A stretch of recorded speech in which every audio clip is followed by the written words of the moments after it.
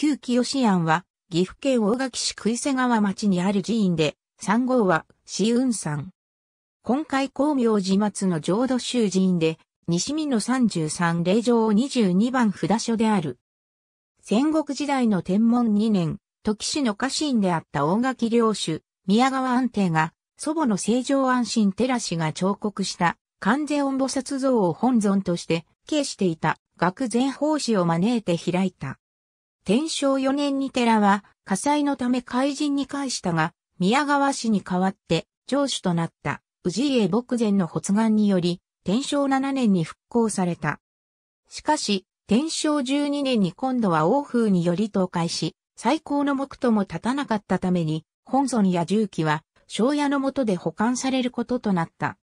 年月を経るうちに寺ゆかりの品々は失われてたが、文政7年に川家義左衛門が再興を志して、本尊を得て、道具を整え、その娘を二層として住まわせた。その後、天寺として地域の信仰を集めていたが、2017年現在は無住となり、近隣の住民により護持されている。本尊の如意輪、観音像は文化9年に杭瀬川に流れ着いた首に体育を補ったものとされ、首から上の病に弦を示すと伝わる。